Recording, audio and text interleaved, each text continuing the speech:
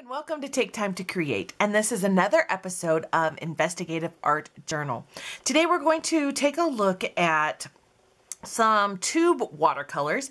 And these are just Reeves watercolors. I found this pack at Michael's. And what I want to know is how many half pans can you get out of one tube of watercolor?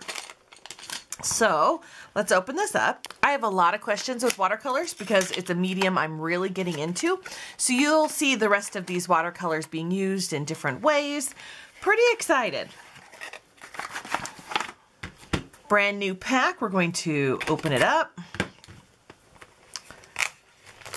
Let's just take out this ultramarine blue. All right. So my question is, is how many of these half pans can you fill with one tube? Like a lot of watercolorists, I like to take my tube watercolors and put them into these little half pans. And that is so I can travel with it. It's, it's a little harder to travel with tubes of watercolor.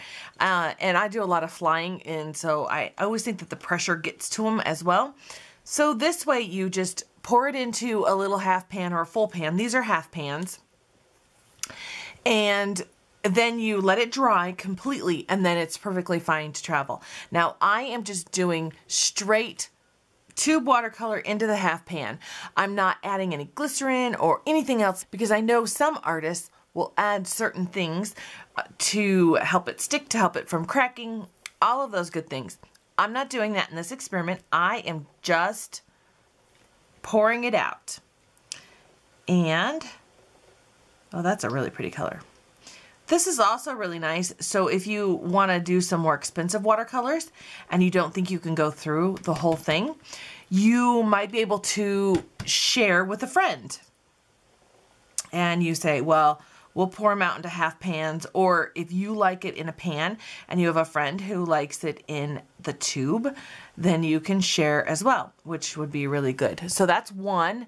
I have to say it's not perfect, but that's okay. Uh, we can always flatten it down. I'm just getting a rough idea because it won't be exact.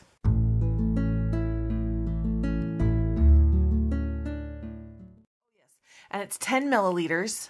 Let me pull that up there. 10 milliliters and 0.34 fluid ounces. Eh, that's a pretty standard size. And I should have done this before, but I forgot. This is an Artist Loft and it is 12 milliliters and it's 0.41 fluid ounces. This is a Pentel and it's pretty tiny and it's five milliliters. So it's half the size. And this is a half used Van Gogh and it is uh, the 10 milliliters as well. So it's the exact same size as the Reeves. So sorry I didn't do this earlier, but I do want to show you that. This is a pretty standard size tube.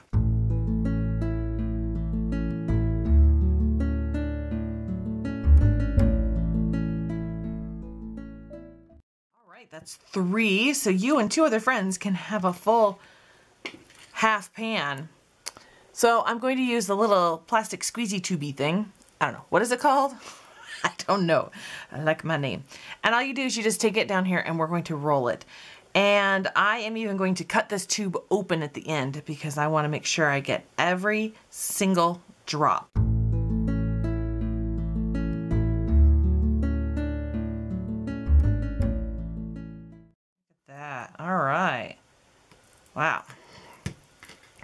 So we have four. And Let's see how we're doing on the fifth one. This always surprises me. Okay. That's the end of that rolly squeezy tubey thing. the plastic thing.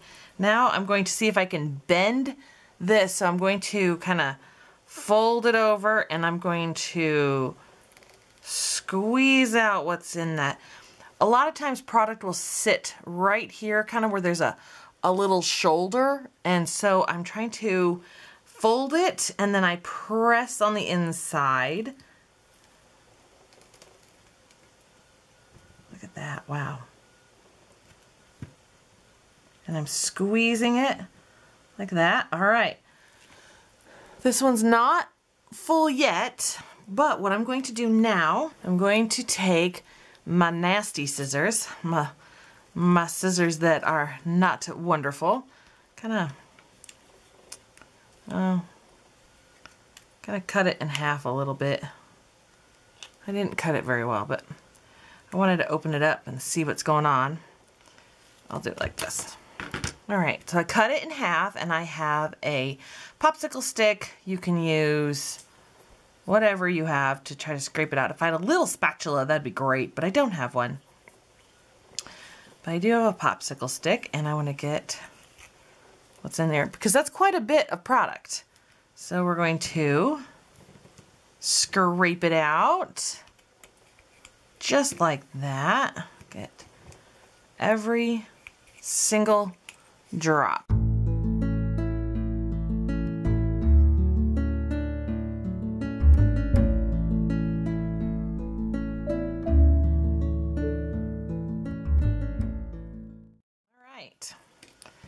So I'm going to say almost five half pans because this one's not quite full. So I'm going to say four and a half half pans you can get from one tube of watercolor. That is a lot of product. So find some friends. You can buy higher quality watercolors and share them with your friends and that might make more fiscal sense.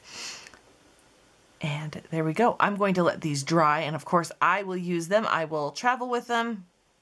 I will take them with me. We'll see how well they do. And since I didn't add anything to keep them from cracking, we'll see how it does. So there you go. Thank you for joining me for this episode of Investigative Art Journal. Thank you for watching. Please subscribe to my channel. Give this video a thumbs up. You can find me on Instagram, Facebook, and on my blog. Thanks again for watching, and I'll see you guys next time.